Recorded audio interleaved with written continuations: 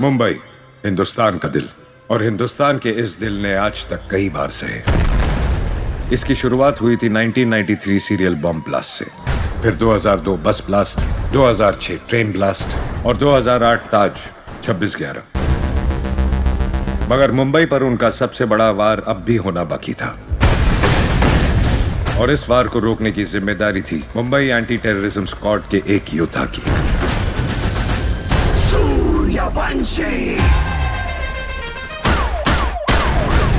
Mumbai police passport पे religion देखकर गोली नहीं चलाती। क्रिमिनल रिकॉर्ड देखकर ठोकती है।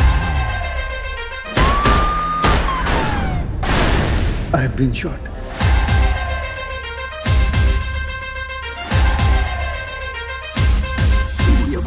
हमारी इंटेलिजेंस के हिसाब से तुम्हारी तरह 40 लोग और हैं जो लश्कर के स्लीपर सेल बनकर हिंदुस्तान में सालों से रह रहे हैं। अभी उनका वक्त आया नहीं।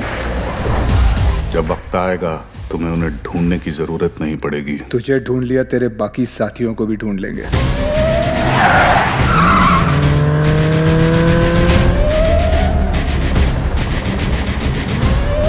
93 में एक टन आरडीएक्स आया था जिसमें से सिर्फ़ 400 किलो इस्तेमाल हुआ और पूरा मुंबई हिल गया।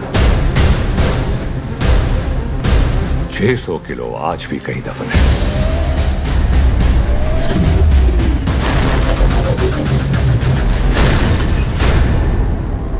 हिंदुस्तान ने मेरी किस्मत बदली। अब मैं हिंदुस्तान की किस्मत पलट दूँगा।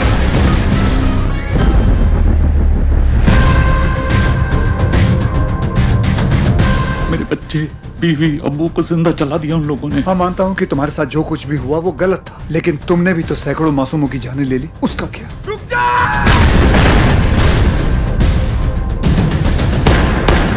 शहर में और भी पुलिस ऑफिसर्स अपना काम कर रहे हैं। लेकिन कोई भी ड्यूटी के लिए अपने बच्चे की जान खतरे में नहीं डालता। इंटेलिजेंस ब्यूरो की थियरी शायद सही है। लश्कर का अगला टारगेट मुंबई होगा। सूर्या वो लोग कब आएँगे ये मैं नहीं जानता पर वो आएँगे ज़रूर। इस बार आएँगे ना तो देख लेंगे सालों को।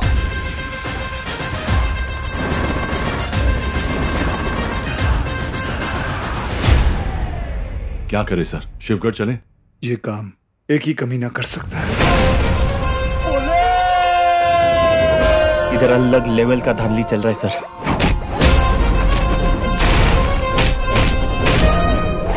ये लोग सात गाड़ी में बॉम्ब फिट किए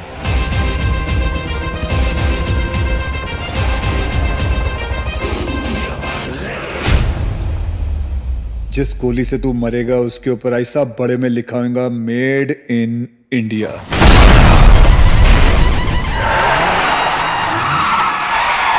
aka public को मालूम है कौन आने वाला है? तेरे को नहीं मालूम? मन भवर उठे तन सिंह उठे जब खबर उठे के सिंघम। गाड़ी ऐसा हमेशा घुमा के क्यों आता है? और तू हर बार हेलीकॉप्टर पे क्यों लटकता है? हाँ किसका ज़्यादा बड़ा है?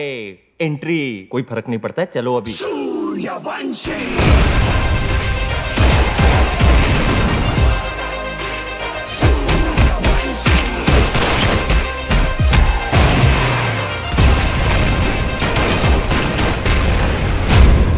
आप जानते हैं कौन है? नईम खान। तीस साल ईमानदारी से पुलिस की ड्यूटी की है इन्होंने। और अब इनका बेटा अब्बास। हमारे एंटी टेररिज्म स्क्वाड का एक होनार ऑफिसर है। ये है हिंदुस्तान के मुसलमान।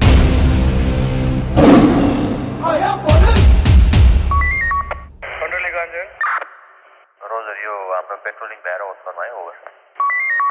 Uh, Roger, left hand down, right?